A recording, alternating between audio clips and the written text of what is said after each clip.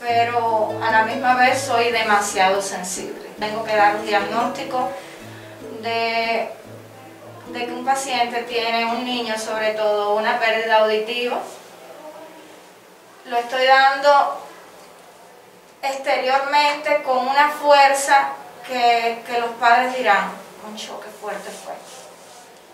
Me lo soltó así y, y sin embargo por dentro estoy destruida.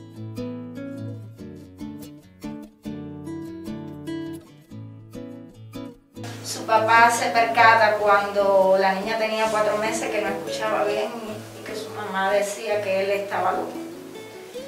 Hasta que un día en una visita que hice a su casa, eh, vivían cerca de, de, la línea por donde pasa el tren, cerca del tenis. Y, y, cuando pasa el tren, él me dijo, voy a colocar a la niña para cuando pite el tren te des cuenta de que no escucha. Y efectivamente esta no respondió a ningún sonido. ¿Te imaginas dos padres jóvenes con 20 años que uno se esté dando cuenta subjetivamente de que su hija tiene una pérdida auditiva. Efectivamente, su niña sorda total, al implantarse a los cuatro meses de implantada con la rehabilitación que pude ofrecerle, tenía una edad auditiva para dos años de vida con cuatro meses de operado. Y de hecho, hoy, hoy habla dos idiomas.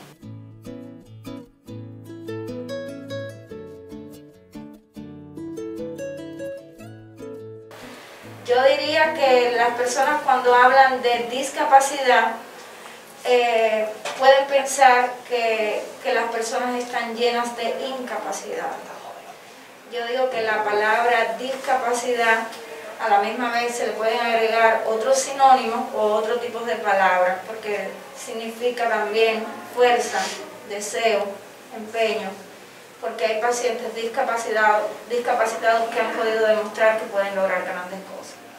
De hecho, los tenemos en la provincia, tenemos ingenieros, tenemos médicos y aún así no han abandonado su profesión.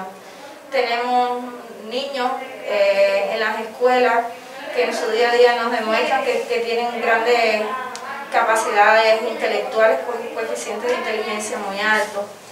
Estudiantes que están en preuniversitario, que aspiran a una buena carrera y que de hecho muchos salen graduados como de licenciaturas del turismo, estomatología, eh, ya, ya te digo, aún así, con todas estas discapacidades que estamos afrontando, lo mismo, eh, física, motora, económica, eh, se puede demostrar que, que sí se